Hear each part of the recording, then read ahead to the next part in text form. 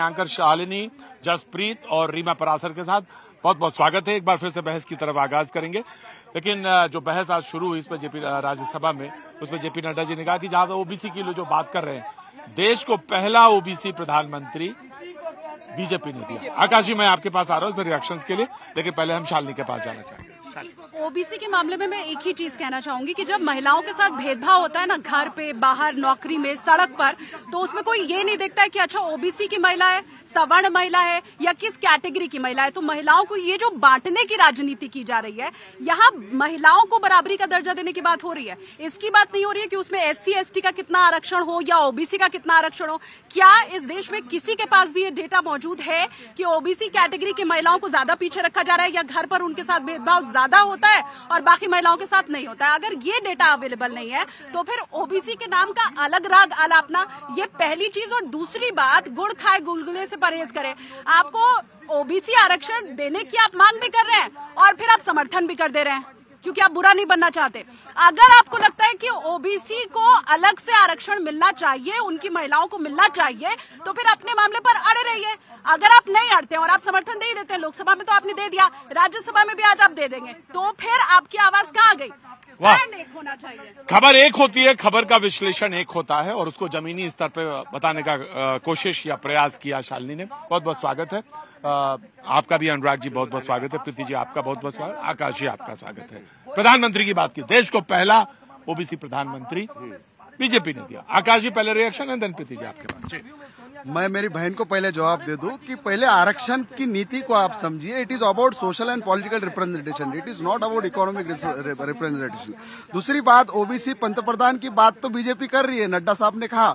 लेकिन जब ओबीसी आरक्षण जो मंडल कमीशन दे रहा है, इतना बड़ा बावन टक्के ओबीसी है, उसके जब हक की बात हो रही है तो क्या ये ओबीसी के नाम राग आलापने वाले पीएम उनको हक की बात क्यों तो आपने क्यों नहीं दे दिया 2010 में?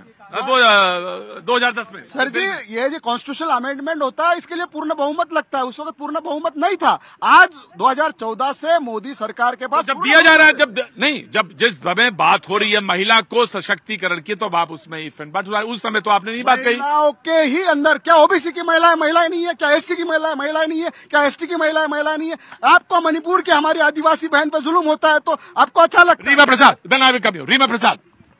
ये जो राजनीति करने की कोशिश हो रही है दरअसल ये क्रेडिट लेने की होड़ है। कांग्रेस पार्टी को या उनके सहयोगी दलों को अनुराग जी हैं पहले भी उनसे मेरी बात होती रही है। इन लोगों को परेशानी बस इस, इस बात की है कि इसका पूरा क्रेडिट चला जाएगा बीजेपी को क्योंकि यहाँ से सीधे यही मैसेज जा रहा है कि ये कदम महिलाओं के लिए उठाया गया है। राइट कमाल की बात है।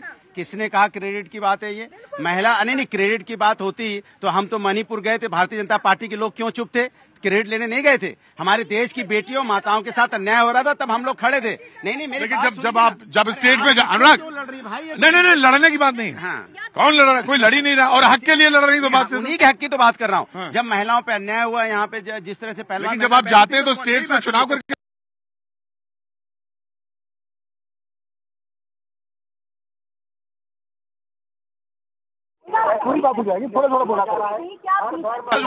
नहीं, क्या बीजेपी या कोई भी पार्टी ये कहने को आज तैयार है कि अगले अब इलेक्शन है विधानसभा फिर उसके बाद लोकसभा क्या कोई भी पार्टी क्रेडिट नहीं लेगी क्या बीजेपी भी नहीं लेगी क्रेडिट? क्रेडिट की आप बात कर रहे हैं माननीय प्रधानमंत्री जी हाँ बड़ी अच्छी बात कही। मुझे मैं आपसे सवाल यही पूछूँगा।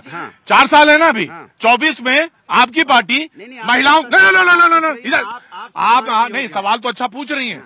लेकिन एक भाई एक भाई ये भी पूछ रहा है आपसे बहनों के लिए कि समाजवादी पार्टी लोकसभा के चुनाव में विदाउट अभी रिजर्वेशन की बात करें चार साल लगेगा अभी।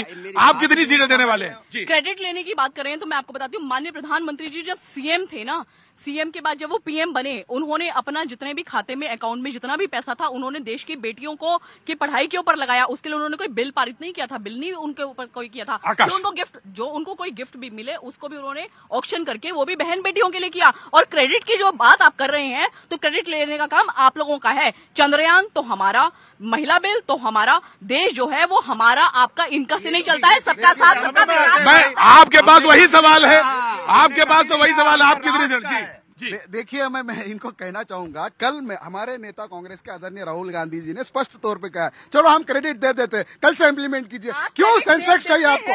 सुनिए सुनिए सुनिए। हमने सात 2011 में जनगणना कराई है इम्प्लीमेंट कीजिए डिलिमिटेशन छोड़ दीजिए कल से इम्प्लीमेंट कीजिए क्रेडिट लीजिए।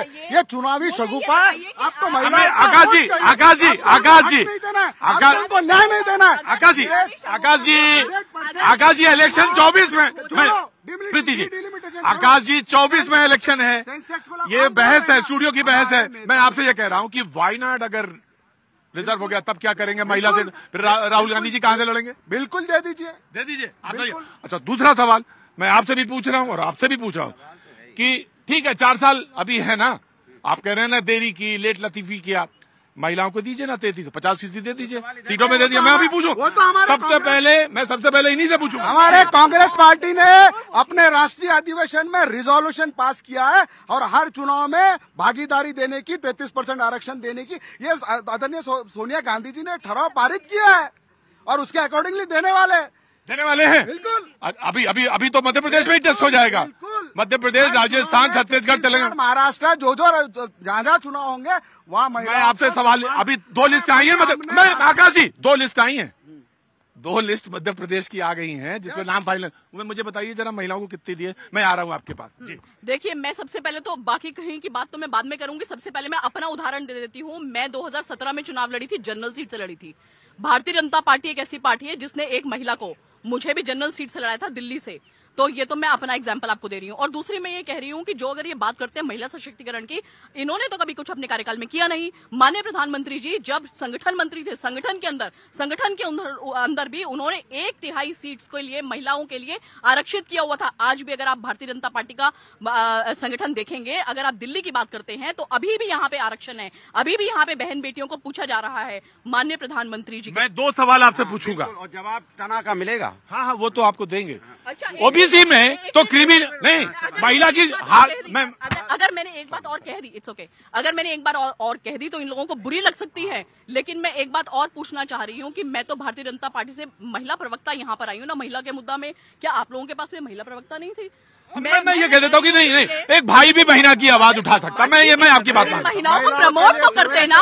नहीं तो ना। हमारे माता बहनों के लिए बिल्कुल। अब मैं मैं मैं आपसे पूछता रहा हूँ कि कितनी कितनी सीटें आप देने जा रहे हैं? अभी तो चार साल का समय है दूसरी चीज़ ओबीसी में तो क्रिमी लेयर की भी बात थी तो उन महिलाओं को टिकट नहीं देना चाहिए।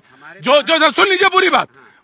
उन महिलाओं को तो टिकट नहीं देनी चाहिए जो ऑलरेडी सशक्त हैं तो फिर आप किसको देने जा रहे हैं किसको चुनने जा रहे हैं? और जो हैं क्या उनको काटेंगे? तो ये सवाल है आपसे भी और आपसे भी। मैंने वही सवाल पूछा था कि भारतीय जनता पार्टी से पूछ लीजिएगा क्या अभी इधर उधर की बात ना कर, ये बता कि- बताऊँगा। हाँ। अपने जो उन्होंने जवाब नहीं दिया भारतीय जनता पार्टी तो बिल लेके आई है हमने सबने स्वागत किया पास कराया। आप कहते हैं चलो बिल पास हो गया आप इम्प्लीमेंट करने में आपने छह सात साल लगाएँगे। तो भारतीय जनता- जनता पार्टी अभी कहते ना कि हम जो महिलाओं को टिकट देंगे यहाँ पे तैतीस परसेंट से ज़्यादा महिलाओं को टिकट मिलेंगे। ओबीसी का भी कर दे। एक मिनट, मेरी बात, सबके लिए। अरे, कहे ना, मैं तो कह रहा हूँ, मैं तो कह रहा हूँ, हमारे पास तो एक ही राज्यसभा थी। हमने आदरणीय जय बच्चन जी को एक महिला को दी कि नहीं दी? एक राज्यसभा मात्र एक राज्यसभा थी। हमने महिला को दी। इन्होंने कितना दिया बताइए? आपने आप हमने हंड्रेड परसेंट रिजर्वेशन दे दिया। एक सीट थी। हंड्रेड परसेंट रिजर्वेशन दे दिया। हमने एक महिला को दिया। आप तो ये कह रहे हैं ना? आप तो अभी लड़ाई है। मैं मैं अभी तो आप लड़ाई ये कह रहे थे। वो महिला जो हाशिए पर है जो स्लीपर पहन के आती है जिसके पास चप्पल नहीं है मैं उसके लिए लड़ने जा रहा हूँ। जी नाउ यू प्लीज़ रिस्पॉन्ड क्योंकि महिला आरक्षण में परिवारवाद का एक बड़ा इशू है जिसको लोग एड्रेस करना चाहते अच्छी अच्छी अच्छी बात अच्छी बात उन्होंने उठाई है। अगर मोदी जी और ये सरकार इसको 2024 में इम्प्लीमेंट करती है। मैं रिस्पॉन्सिबिलिटी के साथ कह रहा हूँ कि नॉन क्रिमिनल महिलाओं को ओबीसी के अंदर जगह दी जाएगी जो उनका हक है। ओबीसी के अंदर क्रिमिनल नॉन क्रिमिनल ये फंडा है और उसी आ, उसी उसी अकॉर्डिंगली दिया जाएगी। बिल्कुल दिया जाएगी और देना चाहिए। देखिए ये ये एक इशू है। ये हाँ तो समाजवादी पार्टी का इसमें स्पष्ट नहीं है। एक दो तीन। चार अब बताओ हम तो आपके लिए लड़ रहे हैं और आप बीजेपी के लिए लड़ रहे हैं। देखिए अनुराग अनुराग जी अनुराग जी। हम तो आपके अधिकार की बात अनुराग जी। रिजर्वेशन आए रिजर्वेशन मिले 2024 में लागू हो जाए और आप उधर से हमारे पे सवार हो। नहीं दूसरी बात यह है अनुराग जी से मेरा सवाल है इसमें ये नहीं नहीं इधर उधर नहीं आप नहीं आप बिल्कुल आप प्रखर प्रवक्ता हैं प्रखर प्रवक्ता हैं। मैं तो आपसे पहले ही सवाल पूछ रही हूँ। मेरा सवाल ये है कि एक दूसरे के पाले में गेंद फेंकने की यहाँ पर कोशिश हो रही है। कल डिम्पल यादव ने ये भी कहा था कि अल्पसंख्यकों को भी आरक्षण मिलना चाहिए। अब अल्पसंख्यक भी इसमें मुद्दा आ गया है। मुस्लिमों को आरक्षण मिलना चाहिए। आप अपनी पार्टी का इसमें रुख साफ़ करिए ना। तो सीधी सीधी सी बात कहता हूँ ये जो हिंदुस्तान है ना सभी जाति धर्मों का देश है तो उससे मिलकर हिंदुस्तान मिला है। हम सब सभी जाति धर्मों का सम्मान करती है समाजवादी पार्टी इसलिए वो भारत का और देश का सम्मान करती है। हम चाहते हैं हर वर्ग को अनुराग जी ने कहा हंड्रेड परसेंट रिजर्वेशन दिया। दिया किसको? जया बच्चन को। जया बच्चन को ज़रूरत है क्या? जया बच्चन कौन है इस देश में? क्या वो एससी है एसटी है? कौन मैं मैं मैं मैं सुनिए। मैं रीमा- को उठा के रीमा तो मैं मैं एक बात कहना चाहता हूँ। रीमा अगर वो एक फ़िल्म फिटर्निटी से आती हैं अच्छा बोलने वाली सोचने वाली समझने वाली सुनिए मैं मैं अभी की बात कह रहा हूँ। चिंतक हैं और स्वागत है उनका। स्वागत है उनका स्वागत है। लेकिन मैं ये कहना चाहता हूँ कि डिबेट को जनसभा ना बनाइए। इलेक्शन की डिबेट ना बनाइए। मैं आपसे ये सवाल पूछ रहा हूँ कि वो जो हाशिए पे है जो पैर में स्लीपर है। हाँ, तो रहे तो कहिए ना यहाँ पे कि पचास फ़ीसदी देंगे हमको। हम तो कह रहे हैं हाँ। ओबीसी दलित अल्पसंख्यक की जो महिलाएँ हैं जो बाकी पीछे छूट गई हैं जो कमज़ोर वर्ग है उनको हमें आगे लेके आना है। लेकिन आकाश ने हो या ना आकाश ने साफ़ बोला। साफ़ बोला ना? मैं भी साफ़ ही तो कह रहा हूँ भारतीय जनता पार्टी बताए।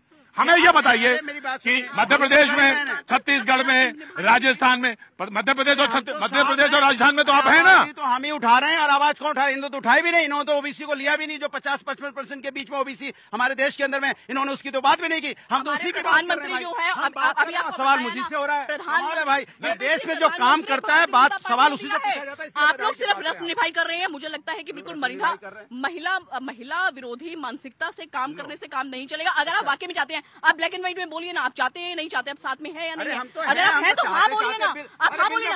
आपको देरी से दिक्कत हो रही है बहन जी, कैसी बात कर रहे हैं आप? हमने वोट दिया। बिल पास करा दिया, अगर आप हैं ये कि नहीं पूछना चाहती हूँ कि अगर मुस्लिम महिलाओं के आरक्षण की बात। पर असदुद्दीन ओवैसी के दो सांसद विपक्ष में दे सकते हैं वोट उसके विरोध में दे सकते हैं। रिप्रेजेंटेशन की बात हो रही है ना अभी आप यही कह रहे थे कि बात रिप्रेजेंटेशन की है। तो यहाँ पर कोई और स्वर और वहाँ नहीं नहीं नहीं करते करते और फिर समर्थन। वो नहीं होना चाहिए ना। नहीं एक- नहीं दो एक एक तरफ़ ये है डबल स्वर में 2014 में कहा था तो वुमेन रिजर्वेशन लेके आएँगे नहीं 2023 में ले आएँगे वोट चुनाव आ गया इनसे पूछे ना आप हम तो अभी भी अभी भी खड़े हैं कि हम देश को हम देश की हर महिला हर वर्ग का सम्मान करने वाले लेकिन ये नहीं बता पाए अभी कितने टिकट देंगे। अरे हम तो दे ही रहे हैं। बीजेपी बताए हम तो उनके साथ खड़े हैं और हमेशा देते आए हैं टिकट। तो जब जब मेरा एक ही इसमें यह सवाल है जब 370 की धारा आप एक रात में हटा सकते हैं जब इलेक्शन कमिश्नर हटाने का आप प्रावधान कर सकते तो क्यों डिलिमिटेशन क्यों सेंसेक्स अरे 2024 में लागू करो। अरे जो एस सी को देना है करो ओबीसी के लिए। और और जब ये सवाल आया आनंद हमारे साथ हमारे सहयोगी आ गए हैं। आनंद जब ये सवाल पूछा गया कि भाई ये मुझे बताइए कि डिलिमिटेशन के बगैर सेंसस के बगैर अगर ये हो जाएगा तो कई सीटें ऐसी हैं, बगैर अगर आप कोई होमवर्क नहीं करेंगे, उसका जो एक साइंटिफिक मेथोडोलॉजी है, उसको नहीं अप्लाई करेंगे तो बहुत सारी ऐसे हैं कि आप फिर कैसे अप्लाई करेंगे? उसको उसको इम्प्लीमेंट कैसे करेंगे? प्रतीक, आप भी समझते हैं, हमारे व्यूअर भी समझते हैं कि डिलिमिटेशन जनसंख्या के आधार पर होता है ताकि हर कॉन्स्टिट्यूंसी में इक्वल नंबर ऑफ़ वोटर्स हों। किसी कॉन्स्टिट्यूंसी में कम वोटर किसी कॉन्स्टिट्यूंसी में ज़्यादा वोटर हो, ये गलत है। अब जितने विपक्ष के लोग हैं, ये सुप्रीम कोर्ट की थ्री जज बेंच की एक जजमेंट को पढ़े, जिन्होंने हॉरिजॉन्टल हॉरिजॉन्टल रिजर्वेशन और वर्टिकल रिजर्वेशन की व्याख्या की और यह भी साफ़ कह दिया कि आर्टिकल 15 और आर्टिकल 16 के तहत किस तरह से इसका बंटवारा होना चाहिए और क्यों डिलिमिटेशन आवश्यक है, इसकी भी व्याख्या है।